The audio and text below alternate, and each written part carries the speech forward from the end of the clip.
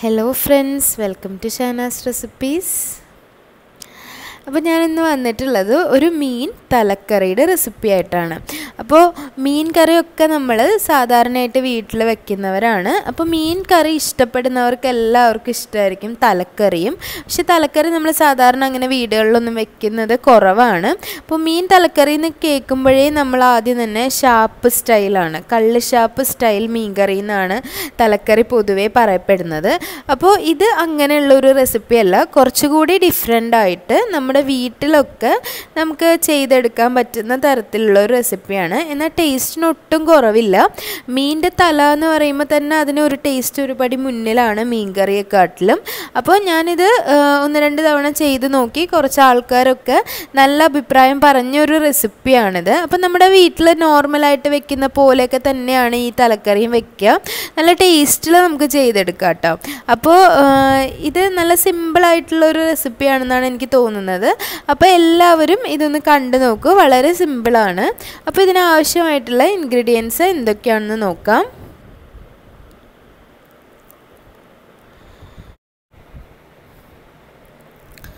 അപ്പോൾ ഇതിലേക്കായിട്ട് ഞാൻ എടുത്തിട്ടുള്ളത് ഒരു മുക്കാൽ കിലോ ഉള്ള ഒരു തലയാണ് കേട്ടോ. ഇത് കേര മീനിന്റെ തലയാണ്.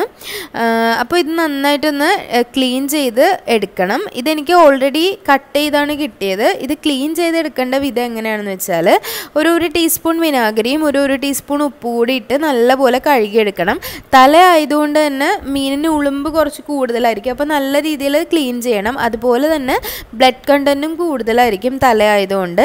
പക്ഷേ ഇതിൽ കുറച്ച് നല്ല മാംസമൊക്കെ ഉണ്ട് ഈ തലയിൽ അതുപോലെ നല്ല കുറച്ച് മുള്ളുകളും ഒക്കെ ഉണ്ട്.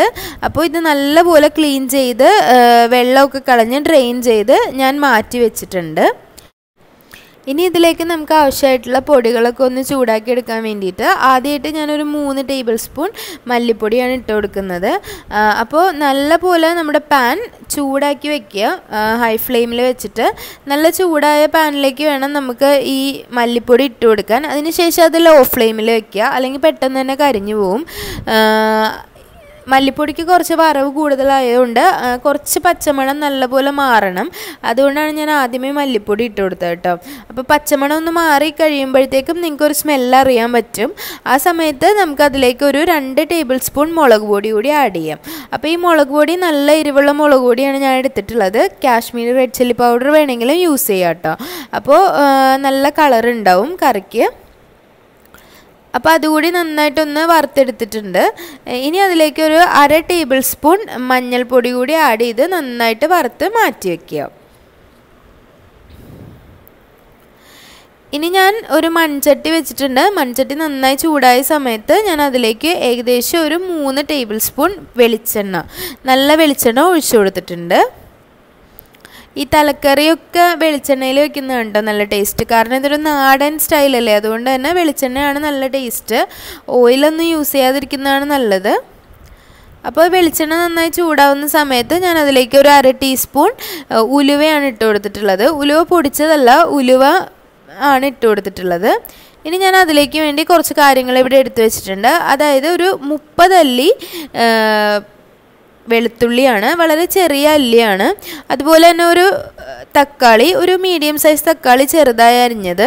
പിന്നെ കുറച്ച് ഇഞ്ചി എടുത്ത് വെച്ചിട്ടുണ്ട്. പിന്നെ കുറച്ച് നല്ല ഫ്രഷ് കറിവേപ്പില ഒരു അഞ്ചാറ് പച്ചമുളക്. പച്ചമുളക് ഓരോരുത്തരുടെ എരിവിനനുസരിച്ച് ഇടുക. കാശ്മീരി റെഡ് ചില്ലി പൗഡറൊക്കെ ഉപയോഗിക്കുന്നവർ പച്ചമുളക് കുറച്ച് കൂടുതൽ ഇടുക. ഇനി പച്ചമുളകിന്റെ ടേസ്റ്റ് ഇഷ്ടമല്ലാത്തവർക്ക് കാശ്മീരി പൊടിയും എരിവുള്ള മുളക് പൊടിയും കൂടി ചേർത്ത് ഇടാവുന്നതാണ്. ഒരു മീഡിയം സൈസ് ഇഞ്ചിയും ആ, വെളുത്തുള്ളിയും ചെറുതായിട്ട് അരിഞ്ഞാണ് എടുത്തു വെച്ചിട്ടുള്ളത്. അപ്പോൾ ഇത്രയും കാര്യങ്ങൾ ഞാൻ എടുത്തു വെച്ചിട്ടുണ്ട്. ഇപ്പോൾ നമ്മുടെ ഉലുവ നന്നായിട്ട് പൊട്ടി വരുന്നുണ്ട് കേട്ടോ നല്ലപോലെ ചൂടായ എണ്ണയിലേക്ക് ഉലുവ ഇടുമ്പോൾ ഉലുവ ഉലുവ കടുക് പൊട്ടുന്നത് പോലെ തന്നെ പൊട്ടി വരും. അപ്പോൾ നന്നായിട്ട് പൊട്ടി വരുന്ന സമയത്ത് അതിലേക്ക് ഇട്ട് കൊടുക്കേണ്ടത് വെളുത്തുള്ളി ഇഞ്ചിയാണ്. ഒരു മീഡിയം സൈസ് ഇഞ്ചി ചെറുതായിട്ട് അരിഞ്ഞതും ഒരു മുപ്പതല്ലി വെളുത്തുള്ളിയും ഇട്ട് കൊടുത്തിട്ടുണ്ട്. വളരെ ചെറിയ വെളുത്തുള്ളി ആയതുകൊണ്ടാണ് ഒരു മുപ്പതല്ലിയൊക്കെ എടുത്തിട്ടുള്ളത്. അതായത് ഏകദേശം ഒരു രണ്ട് തുടം വെളുത്തുള്ളിയാണ് ഞാൻ ഇട്ട് കൊടുത്തിട്ടുള്ളത്. കറിക്ക് വെളുത്തുള്ളി ടേസ്റ്റ് നല്ലതാണ്.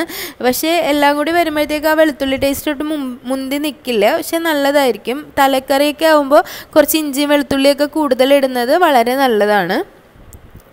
പിന്നെ വെളുത്തുള്ളി നല്ല ഹെൽത്തി ആയിട്ടുള്ള ഒരു ഇൻഗ്രീഡിയന്റ് ആണ്. നമ്മൾ നമ്മുടെ ആഹാരത്തിൽ അത് യൂസ് ചെയ്യുന്നത് വളരെ നല്ലതാണ് കേട്ടോ അപ്പോൾ ഇത് നന്നായി വഴറ്റി വരുന്നിട്ടുണ്ട്. നല്ലപോലെ ഒന്ന് കരിഞ്ഞു പോവാതെ ഒന്ന് വഴറ്റി വരുന്ന സമയത്ത് ഞാനൊരു ആറ് പച്ചമുളക് നല്ല എരിവുള്ള പച്ചമുളകാണ് ഒന്ന് നെടുവേ കീറി ഇട്ട് കൊടുത്തിട്ടുണ്ട്.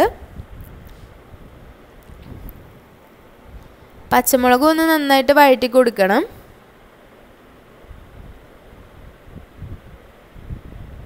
ഇനി അതിലേക്ക് ഈ സമയത്ത് ഒരു രണ്ട് തണ്ട് കറിവേപ്പില നല്ല ഫ്രഷ് ആയിട്ടുള്ള കറിവേപ്പില ഇട്ട് കൊടുക്കുക. ഇനി നമുക്ക് കറിവേപ്പില ഇട്ട് കൊടുക്കണം. അവസാനം കറി വാങ്ങി വെക്കുമ്പോൾ നമുക്ക് കറിവേപ്പില ഇട്ട് കൊടുക്കണം. പക്ഷേ ഈ സമയത്ത് കറിവേപ്പില ഇട്ട് കൊടുത്താൽ കറിവേപ്പില വെളിച്ചെണ്ണ കിടന്നൊന്ന് വഴണ്ട് വരുമ്പോൾ ഒരു നല്ല ടേസ്റ്റ് ആയിരിക്കും. ഒരു നല്ല ഫ്ലേവർ നമ്മുടെ കറിക്ക് കൊടുക്കും. അപ്പോൾ ഈ സമയത്തൊക്കെ കറിവേപ്പില ഇടുന്നത് വളരെ നല്ലതാണ് കേട്ടോ അപ്പോൾ ഇനി ഞാൻ എടുത്തിട്ടുള്ളത് ഒരു സവാളയാണ്. നിങ്ങൾക്ക് ചെറിയുള്ളി വേണമെങ്കിൽ ഇടാം. ഞാനിപ്പോൾ സവാളയാണ് എടുത്തിട്ടുള്ളത്. ഒരു ഒരു സവാള വളരെ ചെറുതായിട്ട് നേരിയതായിട്ട് അരിഞ്ഞെടുത്തിട്ടുണ്ട്. അപ്പോൾ ആ സവാള കൂടി ഞാൻ ഇട്ട് കൊടുത്തിട്ടുണ്ട്. ഞാനപ്പോൾ അരപ്പ് കൂടി റെഡിയാക്കി വെച്ചിട്ടുണ്ട്. അപ്പോൾ ഇതിൽ തേങ്ങ അരച്ചതും കൂടി നമ്മൾ ചേർക്കുന്നുണ്ട്. അപ്പോൾ അതിലേക്കായിട്ട് ഒരു ഒരു കപ്പ് തേങ്ങയിലേക്ക് നമ്മൾ നേരത്തെ റെഡിയാക്കി വെച്ചിട്ടുള്ള പൊടികളും അതിന്റെ കൂടെ ഒരു കാൽ കപ്പ് വെള്ളവും ചേർത്ത് നല്ല പോലെ ഒന്ന് അരച്ചെടുത്ത് മാറ്റി വെച്ചിട്ടുണ്ട്. അപ്പോൾ പൊതുവേ ഈ ഷാപ്പ് സ്റ്റൈൽ കറികളിലൊന്നും തേങ്ങ കാണാറില്ല. അതുകൊണ്ടാണ് ഞാനിത് പറഞ്ഞത്. ഇത് നോർമലി നമ്മുടെ വീടുകളിൽ വെക്കുന്ന പോലെയൊക്കെ തന്നെ നമുക്ക് നല്ല ടേസ്റ്റിൽ ഉണ്ടാക്കിയെടുക്കാൻ പറ്റുന്ന ഒരു റെസിപ്പിയാണ്. അപ്പോൾ ഞാൻ ഇതിലേക്ക് ആ തക്കാളി അരിഞ്ഞു വെച്ചതും കൂടി ഇട്ട് കൊടുത്തിട്ടുണ്ട്. സവാള ഒന്ന് വഴണ്ട് വരുന്ന സമയത്താണ് ഞാൻ തക്കാളി ഇട്ട് കൊടുത്തിട്ടുള്ളത്. ഇതൊക്കെ ഒരു മീഡിയം ഫ്ലെയിമിൽ വെച്ച് വേണം കേട്ടോ ചെയ്യാൻ. ഒരിക്കലും ഹൈ ഫ്ലെയിമിൽ വെച്ച് ചെയ്യരുത്. അത് മാത്രമല്ല നമ്മൾ ഗ്യാസിലൊക്കെയാണ് വെക്കുന്നതെങ്കിൽ മൺചട്ടി ഹൈ ഫ്ലെയിമിൽ വെക്കാതിരിക്കുന്നതാണ് നല്ലത്. നമ്മുടെ ചട്ടി പെട്ടെന്ന് തന്നെ ചീത്തയായി പോവാൻ ചാൻസ് ഉണ്ട്. അപ്പോൾ ഇത് ഏകദേശം ഒന്ന് റെഡിയായി വരുന്ന സമയത്ത് ഒന്ന് വഴണ്ട് വരുന്ന സമയത്ത് നമുക്കിതിലേക്ക് കുറച്ച് പുളി ആഡ് ചെയ്ത് കൊടുക്കണം. അപ്പോൾ ഞാൻ ഈ കറിയിലേക്ക് കുടംപുളിയാണ് ആഡ് ചെയ്യുന്നത്. അപ്പോൾ ഏകദേശം നമ്മൾ ഒരു അരമണിക്കൂറിന് മുന്നേ ഞാനൊരു കാൽ കപ്പ് വെള്ളത്തിൽ ഒരു വലിയ മൂന്ന് കഷ്ണം പുളി ഇട്ട് വെച്ചിട്ടുണ്ട്. അപ്പോൾ എപ്പോഴും നമ്മൾ കറിയിൽ പുളി ആഡ് ചെയ്യുമ്പോൾ കുറച്ച് നേരം മുന്നേ തന്നെ ഒരു കുറച്ച് വെള്ളത്തിൽ പുളി ഇട്ട് വെക്കുക. അപ്പോൾ നമ്മുടെ ആ പുളിയുടെ ടേസ്റ്റൊക്കെ ആ കറിയിലേക്ക് നന്നായിട്ട് പിടിക്കും. അപ്പോൾ പുളി കൂടി ആഡ് ചെയ്തതിന് ശേഷം നമുക്ക് നേരത്തെ അരച്ച് വെച്ച അരപ്പ് ആഡ് ചെയ്ത് കൊടുക്കാം. അപ്പോൾ ഇത്രയും അരപ്പ് പോരാ. അരപ്പ് ഒന്ന് ചൂട് പിടിച്ച സമയത്ത് നമുക്ക് കുറച്ചുകൂടി വെള്ളം ആ മിക്സിയിൽ ഒന്നിട്ട് കറക്കിയിട്ട് ഒഴിച്ചു കൊടുക്കാം. അപ്പോൾ ഇതിന് കുറച്ച് വെള്ളം വേണം. കാരണം എന്താണെന്ന് വെച്ചാൽ ഈ തല തലയ്ക്ക് നല്ല വേവ് ഉണ്ടാവും. അപ്പോൾ ഇത് നന്നായിട്ടൊന്ന് വെള്ളത്തിൽ കിടന്ന് വേവും വേണം. ഒരുപാട് വറ്റി വരുന്ന ഒരു കൺസിസ്റ്റൻസിയിലല്ല ഞാൻ എടുക്കുന്നത്. കുറച്ചുകൂടി ചാറോട് കൂടിയാണ്. അപ്പോൾ ഞാൻ അതിന് വേണ്ടി ഏകദേശം ഒരു ഒരു കപ്പ് വെള്ളം കൂടി ഒഴിച്ചു കൊടുത്തിട്ടുണ്ട് കേട്ടോ ഒരു ചെറിയ കപ്പ് വെള്ളമാണ് ഒഴിച്ചു കൊടുത്തിട്ടുള്ളത്. ഏകദേശം നമുക്ക് നോക്കുമ്പോൾ അറിയാലോ ഇത്ര വെള്ളം വേണം ആ മീൻ വേവാൻ എന്നുള്ള ഒരു കണക്കിലാണ് ഒഴിച്ചു കൊടുത്തിട്ടുള്ളത്. അപ്പോൾ ഈ നമ്മുടെ അരപ്പ് നന്നായി തിളച്ച ശേഷം മാത്രം നമ്മൾ മീൻ ഇട്ട് കൊടുക്കുക. അരപ്പ് തിളച്ച് അരപ്പിന്റെ ആ ഒരു പച്ച കുത്തൊന്ന് മാറിയതിന് ശേഷം നമുക്ക് മീൻ ഇതിലേക്ക് ഇട്ട് കൊടുക്കാം. ഒരിക്കലും ഈ അരപ്പിന്റെ കൂടെ മീൻ ഇട്ട് കൊടുക്കരുത്. അപ്പോൾ ഒരു പച്ച കുത്തുണ്ടാവും ചിലപ്പോഴെങ്കിലുമൊക്കെ അപ്പോൾ ഇപ്പം മീൻ ഞാൻ അതിലേക്ക് ഇട്ട് കൊടുത്തിട്ടുണ്ട്. അപ്പോൾ ഈ തല ആയതുകൊണ്ട് തന്നെ ഇത് കുറച്ച് വലിയ കഷ്ണങ്ങളായിട്ടാണ് നമുക്ക് കിട്ടുക. അപ്പോൾ അത് വെന്ത് വരാനും കുറച്ച് സമയമെടുക്കും. ഏകദേശം നമ്മൾ മീൻ കറിക്ക് ഒരു പത്ത് മിനിറ്റ് ആണെങ്കിൽ ഇതൊരു പതിനഞ്ച് മിനിറ്റ് എടുക്കും. അപ്പോൾ ഞാൻ ഇതുവരെ ഇതിലേക്ക് ഉപ്പ് ആഡ് ചെയ്തിട്ടില്ല. ഏകദേശം ഒരു ഒരു ടേബിൾ സ്പൂൺ ഉപ്പ് ഞാൻ ഇതിലേക്ക് ആഡ് ചെയ്ത് കൊടുക്കുന്നുണ്ട്. അത്യാവശ്യം വെള്ളം ഉണ്ടല്ലോ. പിന്നെ അത്യാവശ്യം ഒരു ഒരു മുറി തേങ്ങയാണ് ഞാൻ എടുത്തിട്ടുള്ളത്. അപ്പോൾ ഇതിലേക്ക് ഒരു ഏകദേശം ഒരു ഒരു ടീസ്പൂൺ ഒരു ടേബിൾ സ്പൂൺ ഉപ്പ് വേണ്ടി വരും. ഇനി നമുക്കൊന്ന് ഇതൊന്ന് അടച്ച് വെച്ച് വേവിക്കാം. അടച്ച് വെച്ച് ലോ ഫ്ലെയിമിൽ ഒരു പതിനഞ്ച് മിനിറ്റ് ഞാൻ വേവിച്ചെടുത്തിട്ടുണ്ട്.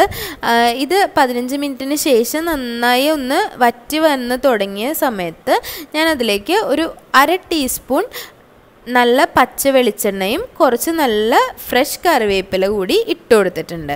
നേരത്തെ നമ്മൾ ഓൾറെഡി കറിവേപ്പില ഇട്ട് കൊടുത്തിട്ടുണ്ടായിരുന്നു. ഇനി അതിലേക്ക് ഞാനൊരു കാൽ ടീസ്പൂൺ വളരെ കുറച്ചൊരു കാൽ ടീസ്പൂൺ വിനാഗിരി കൂടി ആഡ് ചെയ്ത് കൊടുക്കുന്നുണ്ട് കേട്ടോ അത് ഈ സമയത്ത് വേണം അവസാനം വേണം അത് ആഡ് ചെയ്ത് കൊടുക്കാനായിട്ട്. അപ്പോൾ നമ്മുടെ കറി നല്ലപോലെ റെഡി ആയിട്ടുണ്ട്. ഇത് ഒരുപാട് വറ്റിയിട്ടല്ല എടുത്തിട്ടുള്ളത്. ഒരു കറി ആയതുകൊണ്ട് തന്നെ അത്യാവശ്യം ചാറ് എടുത്തിട്ടുണ്ട്. പിന്നെ ഇത് നല്ല ടേസ്റ്റി ആയിട്ടുള്ള കറിയാണ് കേട്ടോ കാണുന്നത് പോലെ തന്നെ നല്ല ടേസ്റ്റിയാണ് അതുപോലെ തന്നെ ഇത് പെട്ടെന്ന് തന്നെ റെഡിയാക്കി എടുക്കാൻ പറ്റുന്ന നല്ല നോർമലായിട്ട് നമ്മൾ ഇതുപോലെയൊക്കെ തന്നെ ആയിരിക്കും പലരും വീടുകളിൽ മീൻകറി വെക്കുക. അപ്പോൾ തല ആയതുകൊണ്ട് അത് നമ്മൾ ഷാർപ്പ് സ്റ്റൈലിൽ വെക്കണം എന്നൊന്നുമില്ല ഇതുപോലെ നല്ല ടേസ്റ്റിൽ നമുക്ക് ചെയ്തെടുക്കാൻ പറ്റും. അപ്പോൾ എല്ലാവരും ഈ റെസിപ്പി ഒന്ന് ട്രൈ ചെയ്ത് നോക്കണം. ഇനി തലക്കറി വെക്കാനൊക്കെ മടിച്ചിരിക്കുന്നവർക്കൊക്കെ ഈ റെസിപ്പി ഉപകാരപ്പെടുന്നു വിചാരിക്കുകയാണ്. അപ്പോൾ എല്ലാവരും ഈ റെസിപ്പി ട്രൈ ചെയ്ത് നോക്കുക. അഭിപ്രായങ്ങളൊക്കെ എന്നെ അറിയിക്കണം. അതുപോലെ തന്നെ വീഡിയോ ഇഷ്ടമാവുന്നുണ്ടെങ്കിൽ എന്റെ ചാനൽ ലൈക്ക് ചെയ്യാനും ഷെയർ ചെയ്യാനും കമന്റ് ചെയ്യാനും ഒന്നും മറക്കരുത്. അതുപോലെ തന്നെ സബ്സ്ക്രൈബ് ചെയ്യാനും മറക്കരുത്. ആദ്യമായിട്ടാണ് ചാനൽ കാണുന്നതെങ്കിൽ സബ്സ്ക്രൈബ് ചെയ്യാൻ മറക്കരുത്. അപ്പോൾ എല്ലാവർക്കും താങ്ക്